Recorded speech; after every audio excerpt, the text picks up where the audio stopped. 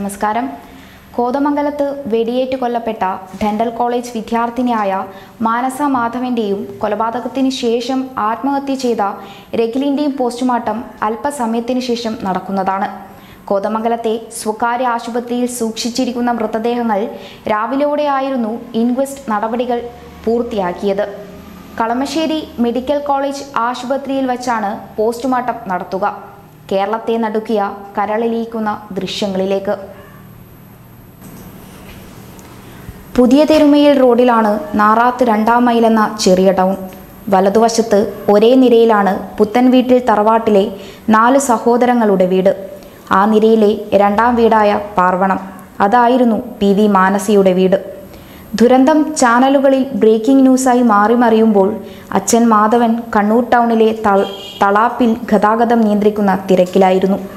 കരസേനയിൽ നിന്ന് വിരമിച്ച മാധവൻ ഏതാനും വർഷങ്ങളായി ടൗൺ ട്രാഫിക് സ്റ്റേഷനിലെ ഹോം ഗാർഡാണ്. മൂന്നരയോടെ വീട്ടിൽ നിന്നും ഫോൺ വന്നു. മകൾക്ക് ചെറിയ വിഷമം നേരിട്ട് വേഗം വരണമെന്നാണ് സന്ദേശം. മാധവൻ വീട്ടിലെത്തിയത് യൂണിഫോമിലായിരുന്നു. ചെന്നിറങ്ങുമ്പോൾ ഭാര്യ സബീനയുടെ നെഞ്ചു പിളരുന്ന നിലവിളി.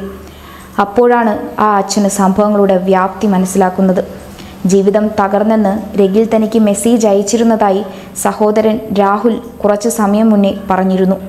മറ്റൊരു പ്രണയം തകർന്ന ശേഷമായിരുന്നു മാനസിയെ അയാൾ പരിചയപ്പെട്ടത്. മാനസ തള്ളിപ്പറഞ്ഞത് രഖിലിനെ ഏറെ വിഷമത്തിലാക്കി. കുറേ ദിവസങ്ങളായി ആരോടും കൂടുതൽ സംസാരിക്കാറില്ലായിരുന്നു.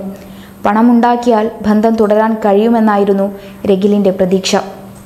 പോലീസ് പിലിപ്പിച്ച ശേഷവും ബന്ധവിടാൻ തയ്യാറായിരുന്നില്ലെന്നും രാഹുൽ മാധ്യമങ്ങളോട് പറഞ്ഞിരുന്നു. കൊലപാതകത്തിന് തൊട്ടു മുൻപുള്ള ദിവസങ്ങളിൽ നാലു തവണ രഗിൽ മാനസികമായി സംസാരിച്ചിരുന്നുവെന്ന് സുഹൃത്ത് ആദിത്യനും പറഞ്ഞു. രഗിലിന്റെ ബിസിനസ് പങ്കാളി കൂടിയാണ് ആദിത്യൻ. ആദിത്യനുമൊത്താണ് ഇന്റീരിയർ ഡിസൈനിങ് ബിസിനസ്സാണ് നടത്തിയത്. മാനസ് അവഗണിച്ചിട്ടും അവന് പിന്തിരിയാൻ കഴിഞ്ഞില്ല. അവളെ മറക്കാൻ കഴിയില്ലെന്ന് അവൻ പറയുമായിരുന്നു. എന്തുകൊണ്ടാണ് തന്നെ ഒഴിവാക്കുന്നതെന്ന് അറിയണമെന്നും പറഞ്ഞു. മനസ്സ് നിരന്തരം അവഗണിച്ചതോടെയാണ് രഗിലിന് പകയായി മാറിയതെന്നും സുഹൃത്തായ ആദിത്യൻ പറയുന്നു. കൊലപ്പെടുത്താൻ ലക്ഷ്യമിട്ട് തന്നെയാണ് രഗിൽ കോതമംഗലത്ത് എത്തിയതെന്നും പോലീസ് പറയുന്നുണ്ട്.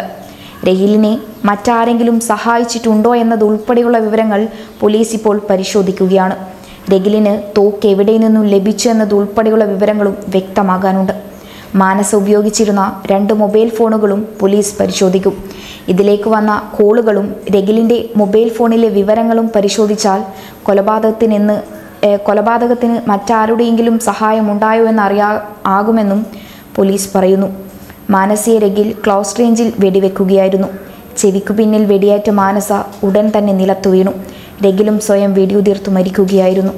രണ്ടു മാസം മുൻപാണ് മാനസ അവസാനമായി കണ്ണൂരിലെ വീട്ടിലെത്തിയത്. ഇന്നലെയും ഇന്നുമെല്ലാം വീട്ടിലേക്ക് ഫോൺ വിളിച്ച് സുഖവിവരം അന്വേഷിച്ചിരുന്നു. മാനസിയുടെ നെഞ്ചിലും തലയിലുമാണ് രഗിൽ വെടിവെച്ചത്. തലയോട്ടിയിൽ എൻട്രി മുറിവും എക്സിറ്റ് മുറിവും ഉണ്ടായിരുന്നെന്ന് ഡോക്ടറും വ്യക്തമാക്കിയിരിക്കുന്നു. അതായത് വെടിയുണ്ട തലയോട്ടി തുളച്ച് പുറത്തേക്ക് പോയിരുന്നുവെന്ന് വ്യക്തമാണ്. പെൺകുട്ടിയെ പരിശോധിച്ച ഡോക്ടർ പറഞ്ഞതും ഇങ്ങനെയാണ്. രക്തത്തിൽ കുളിച്ചാണ് ഇരുവരെയും ആശുപത്രിയിലെത്തിച്ചത്. പരിശോധനയിൽ ഇരുവരും മരിച്ചെന്ന് വ്യക്തമായി. മാനസ താമസിച്ചിരുന്ന വാടക വീടിനോട് ചേർന്ന് താമസിച്ചിരുന്ന ഒരാളാണ് മാനസയെ ആശുപത്രിയിലെത്തിച്ചത് മാനസിയും മൂന്ന് കൂട്ടുകാരികളും താമസിക്കുന്ന അപ്പാർട്ട്മെന്റിലേക്ക് അപ്രതീക്ഷിതമായി എത്തിയ രഗിൽ ആദ്യഘട്ടത്തിൽ തോക്ക് പുറത്തെടുത്തിരുന്നില്ല. കൂട്ടുകാരികൾക്കൊപ്പം ഭക്ഷണം കഴിക്കുകയായിരുന്നു മാനസ. രഹിൽ വന്നതോടെ ഭക്ഷണം കഴിക്കുന്നത് പാതി വഴിക്ക് നിർത്തി മാനസ അയാളോട് സംസാരിക്കാൻ തയ്യാറായി. പെട്ടെന്ന് മുറി അടച്ചുപൂട്ടിയ രഖിൽ തോക്ക് കയ്യിലെടുത്തു. പിന്നെ തുടരെ തുടരെ വെടിയൊച്ചകൾ പുറത്തു വന്നു. ഇതോടെ അയൽവാസികൾ ഓടിയെത്തി. ലഭിച്ച ഓട്ടോറിക്ഷയിൽ അടുത്ത സ്വകാര്യ ആശുപത്രിയിൽ പ്രവേശിപ്പിക്കുകയും ചെയ്തു. എന്നാൽ മരണം സംഭവിക്കുകയായിരുന്നു.